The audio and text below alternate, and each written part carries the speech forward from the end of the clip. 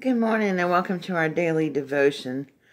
Um it's a little late this morning. I'm running a little late this morning. I was up way too late last night, so um but today our devotion is about mercy, not sacrifice. And it comes from Matthew 9, 12 through 13. And it says, It is not the healthy who need a doctor, but the sick. But go and learn what this means. I desire mercy, not sacrifice. For I have not come to call the righteous, but the sinners. Jesus desires mercy, not sacrifice.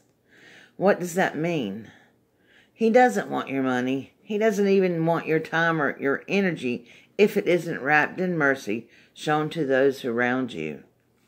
Kindness to all, not only your friends, forgiveness for those who wrong you, understanding those who disagree with you. People who think they have everything figured out and that they're always right do not think they need help.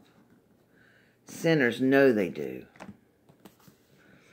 And that's what he's talking about mercy. We we um we need to show mercy to everyone we meet. And we need to realize that we're not perfect and that we're sinners. We are sinners saved by grace. And um, because we are sinners saved by grace, we need to show the same mercy to others that was extended to us through the cross. So, my friends, um, let Christ reign over your life everything that's in your life. Um, we talked about him having true authority yesterday. And today we know that he has authority.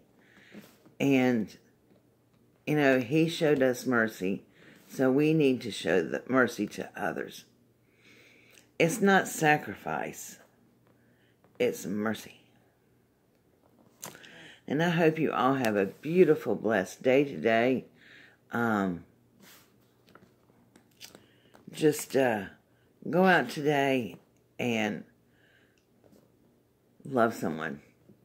Go out today and show a little kindness to someone. And have a beautiful, blessed day. God bless. Bye bye.